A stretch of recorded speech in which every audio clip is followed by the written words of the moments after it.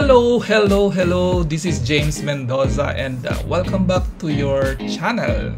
So right now, as you can see, napakaganda ng ating view.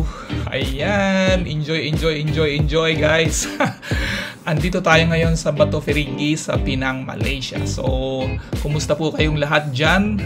No? Uh, pandemic pa rin, no? Ang dami pa rin mga challenges sa buhay pero kailangan natin mag-relax paminsan-minsan, no? Samahan nyo kami dito no? Kung uh, kayo po ay hindi pa nakarating dito sa Pinang Malaysia pumunta na po kayo. At kung kayo naman po nandito na rin sa Malaysia I'm inviting you all. Bisitahin nyo itong Bato Feringgi at uh, mag-relax naman tayo paminsan-minsan no? Ngayon um ito kakapi-kapi muna tayo dito para ma-relax naman ang ating uh, buhay, no? Puro tayo trabaho, trabaho, trabaho. Ayan, busy, busy, busy, busy, no? Wala nang time sa sarili, no? Pero kailangan natin 'yan para sa ekonomiya ng ating mga pamilya, no? So, tingnan niyo yung mga taong 'yan, ang liliit, 'di ba?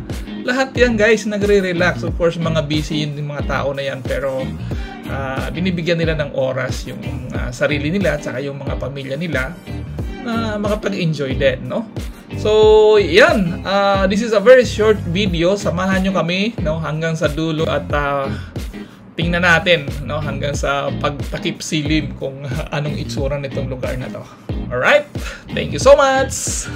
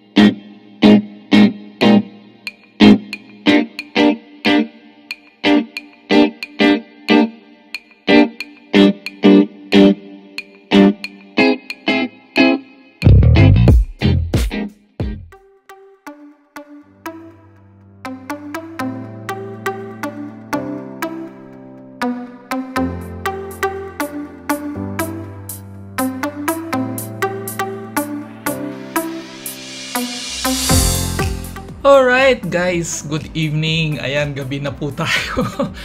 um, ang ganda pala, ang ganda pagka gabi dito yung mga lightings, no? Ayan, so sa mga nakarating po sa dulo ng aking video, maraming maraming salamat po, no? And uh, please don't uh, forget to click subscribe and uh, press the bell button, lalong-lalo na po yung mga hindi pa po nakapag-subscribe, no? Para updated kayo sa mga darating na videos. Alright? So, guys, don't forget to smile and uh, be happy always. No? God bless everyone and uh, this is your abang lingkod, James Mendoza mula dito sa Starbucks Coffee, Bato Feringgi, Malaysia. God bless! Bye-bye!